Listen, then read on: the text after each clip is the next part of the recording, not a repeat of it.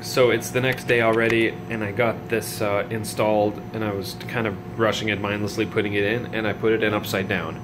After explaining to you guys explicitly to make sure you know the right pattern, the right side. Um, so for most of these, I'm writing other side, other side, other side, so that when you put it in and you see other side, you're like, oh, other side. So I, I need to flip this over. I almost forgot. So some of these bars of Damascus um, have a little bit of a warp to them. I mean, you got to think when they're making it, it's forged and hammered, and there's a lot of weird stuff going on inside the material. So this jaw system, where it's kind of evenly clamping it among the whole thing, as I tighten it down, I can hammer it with my dead blow and kind of flex it all flat so that at least it's flat in the initial operation. And then as you cut out all the smaller pieces, it's less important that they're super flat because it's not so big. Does that make sense? This is where the magic happens right here. So, real quick, I just want to comment on the toolpath that I like to use for these. Right now I'm cutting this Rask thing.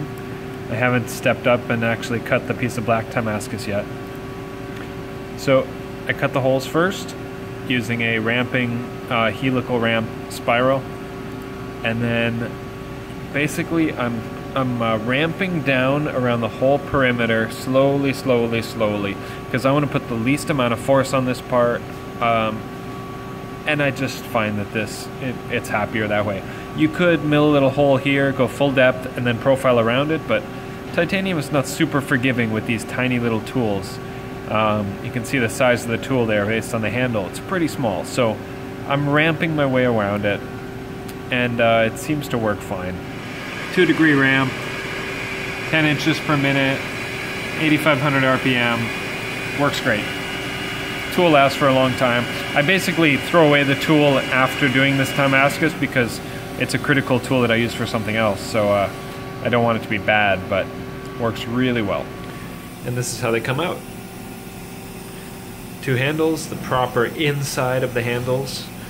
Two clips, the proper inside of the clips. Beautiful. Alright boys and girls, finally ready to run this black Timascus. Here's my yield and my tool paths.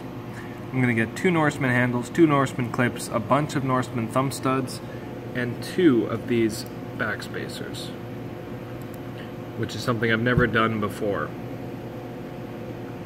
So it's really tricky to get those in there while also being able to do finishing operations on them. Um, but yeah, I'm really excited to cut these out. So when I'm running these fancy materials, you can never be too careful. I want to make sure that my offsets are right, that my tool offsets are right, my work coordinate system, that I'm using the right end mill, obviously. Um, so usually what I do once it gets going is I slow it down. I've got my hand on the rapid feed rate, the rapid override knob right there. I'll slow it down, I'll turn the coolant off, and I'll take it down till just above the surface, right there. We're looking about that far above the surface. I look here, I see my Z is at point two. Um, so I can visually go, that looks like point two, that looks like point two, golden opportunity. Um, I can trust it now. It's kind of, it's not moving right now because I turned this down to zero, but uh, once I turn the coolant back on, or sometimes I'll even um, I'll even cut the first few little chips until I see it move and hopefully you can see that and then I'll turn the coolant back on and we're good to go. Sometimes if I want to check on the progress of a code halfway through, I'll hit the optional stop button which will stop at any M1 line safely right before the next tool change. Um, so I can go in here and I can check on the progress. So it's done some holes, it's finished, uh, you know, milling out the holes to size. Now it's going to change out that in that end mill for a different one. And then I'm going to turn off the optional stop and then hit go again.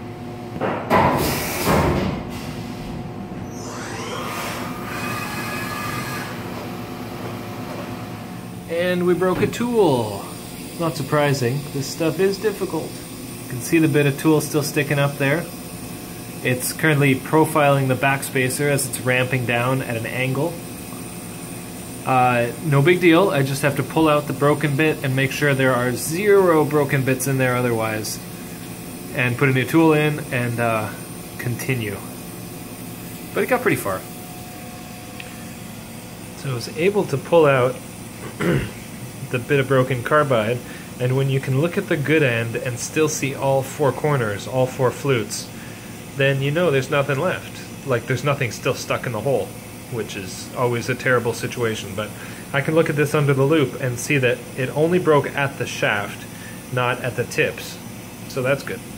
So under magnification, under the loupe, you can actually see that it loaded up with material on that one flute. Yeah, they chip a little bit in the corners, but they're all still there. So yeah, it just loaded up and then became too much for this this small tool, so it broke off. This is a 332nd, a 93 thou, four flute end mill from Lakeshore, and uh, I like to keep a lot of them on hand. In titanium, they last for a very long time, but in Timascus, they're they wear. That's fine. Hey guys, Erin here. Thanks for watching that little two-parter on John cutting Timascus. It was quite an interesting process for him, even if it was about uh, a year ago now. That is old footage, and that's all the old footage I have for that particular project, but the next video that's going to come out is going to be a part 3 to that series, and it's some old footage of John working with some zirconium for a different client. Uh, so stay tuned for that, like and subscribe for more of this kind of content, and I will see you later.